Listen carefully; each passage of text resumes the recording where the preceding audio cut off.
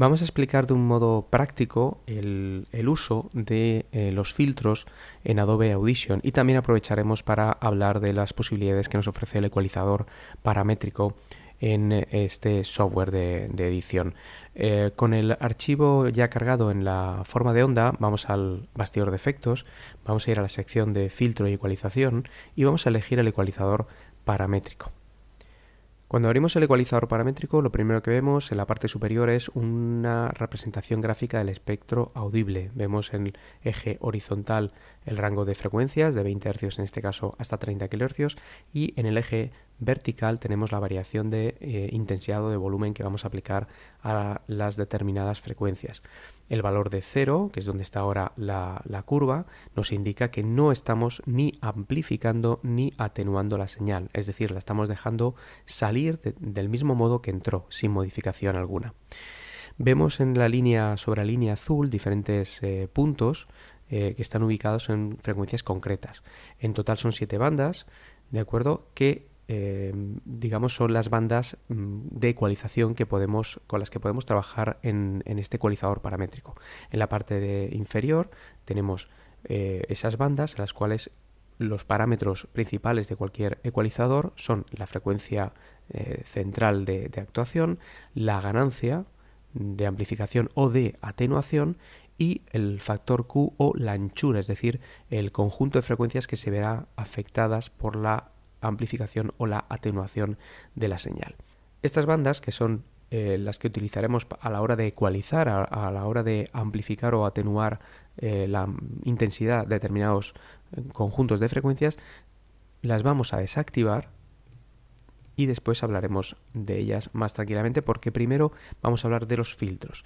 Filtros los tenemos a ambos lados de, la, del efecto, de la gráfica, y son el filtro paso altos y el filtro paso bajos. Veis cómo la diferencia fundamental del filtro con respecto a la ecualización es que el filtro únicamente nos va a dejar modificar la frecuencia de corte y la ganancia o la atenuación en decibelios por octava, pero no la, anchura. Y efectivamente es únicamente lo que podemos hacer en el filtro es atenuar la eh, amplitud, la intensidad, la energía de un sonido. No podemos aumentarlo, no podemos llevar esta eh, gráfica a la parte superior para amplificar el sonido. ¿De acuerdo? Esa es la diferencia fundamental entre lo que sería la sección de filtros, ¿de acuerdo? Filtro paso alto y filtro paso bajo y la sección de ecualización. Por ejemplo, si yo activo este punto de ecualización, yo puedo directamente aumentar el nivel de ese conjunto de frecuencias, veis cómo está aumentando, o puedo disminuirlo. Esto no lo puedo hacer con los filtros, los filtros únicamente me permiten atenuar la señal y modificar la frecuencia de corte, la frecuencia a partir de la cual el conjunto de frecuencias va a, disminuir su intensidad o su energía. ¿Vale? Vamos a desactivar el filtro eh, paso bajo y vamos a dejar solo el filtro paso alto. Recordemos que el filtro paso alto deja eh, pasar las frecuencias por encima de una frecuencia de corte. En este caso la frecuencia de corte la vamos a situar, por ejemplo, a 500 Hz y vemos cómo atenúa reduce la intensidad de todas las frecuencias que están por debajo de esa frecuencia de corte y deja pasar sin actuación a cero todas las frecuencias por encima de esta frecuencia de corte. De tal forma que eh, podemos encontrar el filtro paso altos como high pass filter, es decir, eh, deja pasar las frecuencias altas, o low cut, es decir, atenúa, corta las frecuencias graves.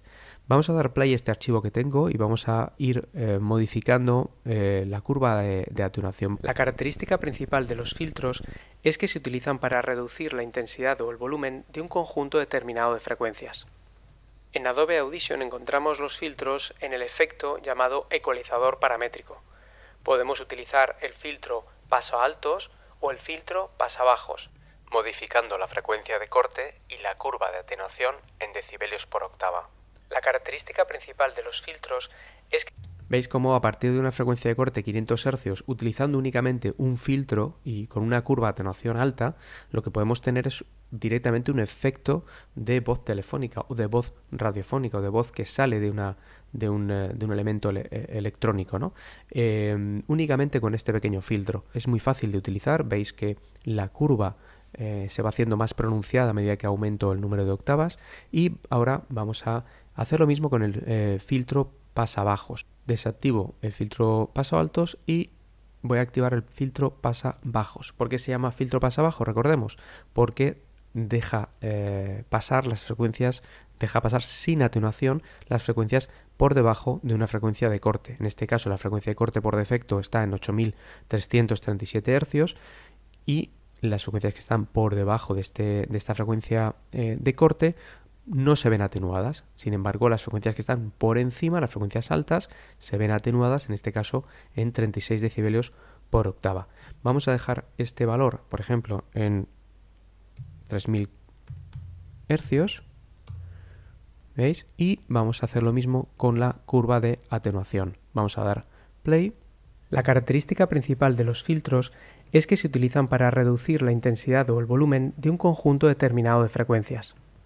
En Adobe Audition encontramos los filtros en el efecto llamado ecualizador paramétrico. Podemos utilizar el filtro paso altos o el filtro bajos, modificando la frecuencia de corte y la curva de atenuación en decibelios por octava. ¿Veis? Aquí tenemos una atenuación de frecuencias altas a partir de una frecuencia de corte de 3000 Hz. Si yo bajo, por ejemplo, a 2000 y doy play, la característica principal de los filtros es que se utilizan para reducir la Hemos eliminado el conjunto de frecuencias eh, prácticamente a partir de 4 kHz no escuchamos nada y esto, este simple efecto, este simple filtro nos puede venir bien pues para eh, simular por ejemplo las voces eh, de personas que están detrás de cristales o detrás de o dentro de, salas o dentro de algún coche, ¿de acuerdo? Simplemente con este, con este pequeño filtro. Luego evidentemente podríamos aumentar este procesamiento con reverse, con algún delay, con alguna otra ecualización más precisa determinadas frecuencias, pero simplemente eh, con este filtro, a través de una frecuencia de corte y una curva de atenuación, podemos eh, gráficamente ver el conjunto de frecuencias que hemos eh, atenuado y el conjunto de frecuencias que pasan sin ningún tipo de procesamiento a través de la curva a cero. Aquí tendríamos, por ejemplo, un paso banda, es decir, dos frecuencias de corte las frecuencias entre estas dos frecuencias de corte, todo este conjunto de frecuencias pasarían sin, sin atenuación y las frecuencias por debajo de, la frecuencia, de una frecuencia de corte inferior y las frecuencias por encima de la frecuencia de corte superior se verían totalmente atenuadas.